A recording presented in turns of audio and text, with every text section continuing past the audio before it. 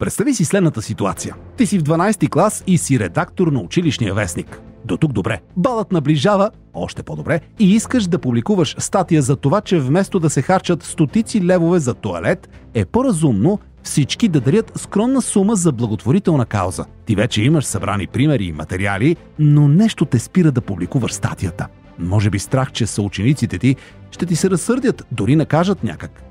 Този страх е доста познат на журналистите, както ще разбереш след малко, но не бива да е пречка в истински демократично общество.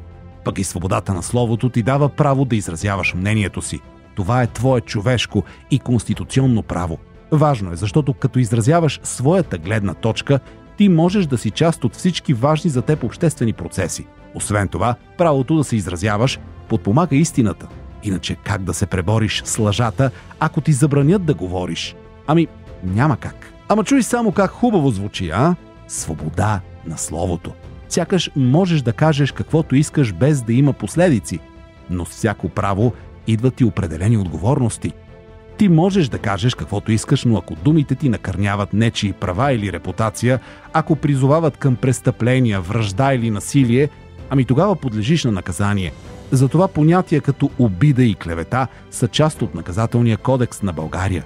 И да, обидата си е обида, независимо дали е казана на живо, в медиите или в интернет. Свободата на словото е мощен инструмент, чрез който може да се упражнява контрол. Може да пречи на корупцията или пък да спира порочни практики, както в правителствения, така и в частния сектор. Не случайно, авторитарната власт се стреми да ограничи най-напред свободата на медиите. Просто те са основния канал, по който информацията достига до хората. Не на празно, традиционните медии се наричат четвъртата власт. Това е така, защото те са не само канал за масова комуникация, а и инструмент за формиране на общественото мнение. Затова е и опасно, ако хората използват медиите за постигане на собствените си цели, а не за тези на обществото. Представи си два случая. В единия медиите се контролират от държавата, например както е било по времето на студената война – когато медиите са били използвани главно за разпространение на военна пропаганда. А когато държавата се намесва, се ограничава свободата на словото, за да не се допуска критика срещу властта. Давам ти още един пример. По време на масовите протести срещу управлението на президентът Мубарак в Египет през 2011 година, правителството решава да спре достъпът до интернет в страната. Така, то възпрепятства достъпа до медии, затруднява комуникацията между протестиращите и продължаването на разгорещените протести. В другия случай имаш демократична държава с обществени и частни медии, които основно се саморегулират, но са и под надзора на регулаторни органи, подобни на съвета за електронни медии в България. Добре, но щом има частни медии, значи те са нечия собственост.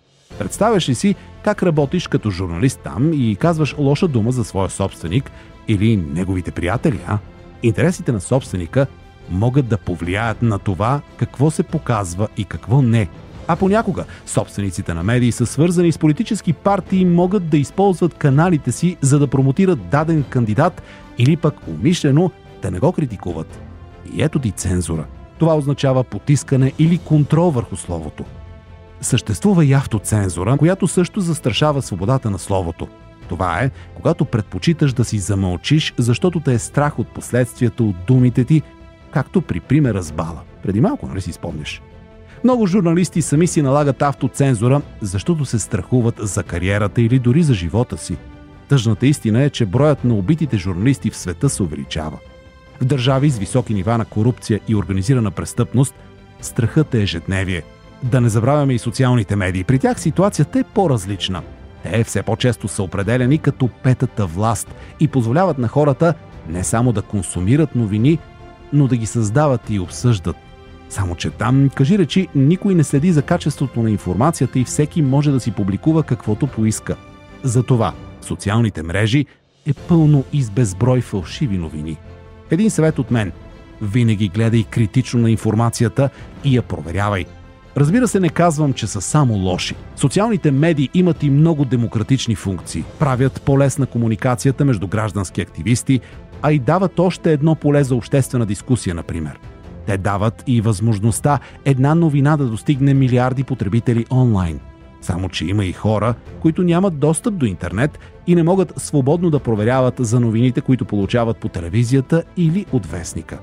Затова и е важно традиционните медии да са свободни, а според класацията на Репортери без граници за свободата на медиите, България е на 71-во място в света. Не е завидна тая позиция, но и по-низко сме били. Значи все пак вървим в правилната посока. А кой изобщо се грижи за свободата на словото? Освен законите, съществува и етичния кодекс на българските медии, описващ етични принципи и добри практики, а всяка медия доброволно решава дали да се съобрази с него или не. Има и организации като Асоциацията на европейските журналисти. Тя организира обучения на журналисти, повишава етичните стандарти и предлага промени в законите, които да развиват медийната среда. FactCheck.bg пък е единствената платформа в България, която се занимава ексклюзивно с проверка на фактите по теми от обществено значение, отново по инициатива на Асоциацията на европейските журналисти. Ще ти дам и друг пример. School Media – платформа за ученическа журналистика, която дава възможност на гимназистите да работят с професионални редактори и да създават качествени медийни продукти. Фундация Тоест пък насърчава независимата журналистика и работи за повишаване на медийната грамотност и критичното мислене, като публикува качествени медийни материали. Фундация Медийна демокрация също се грижи за изграждането на независим и ефективен мониторинг на българската медийна среда – по подобен начин работи и Центърът за развитие на медиите, който подпомага независимите медии в България. Центърът за безопасен интернет пък се фокусира върху развитието на дигиталната грамотност у младите хора и помага на родителите да защитят децата онлайн. В допълнение, Центърът поддържа гореща линия за подаване на сигнали за онлайн турмоз или насилие. Ти също можеш да се включиш в защита на свободата на словото – Можеш, например, с твои съученици и помощта на училището да организирате кампания срещу кибертурмоза или пък информационна кампания за опасностите в социалните медии. Дори може да си свалиш книжката Сърфирай безопасно като ресурс и да черпиш идеи от нея. И помни, свободата на словото и медиите не е само право, а жизненно важен елемент за развитието на нашето общество. Хайде сега, сподели видеото с приятели, а аз отивам да си прочета вестника.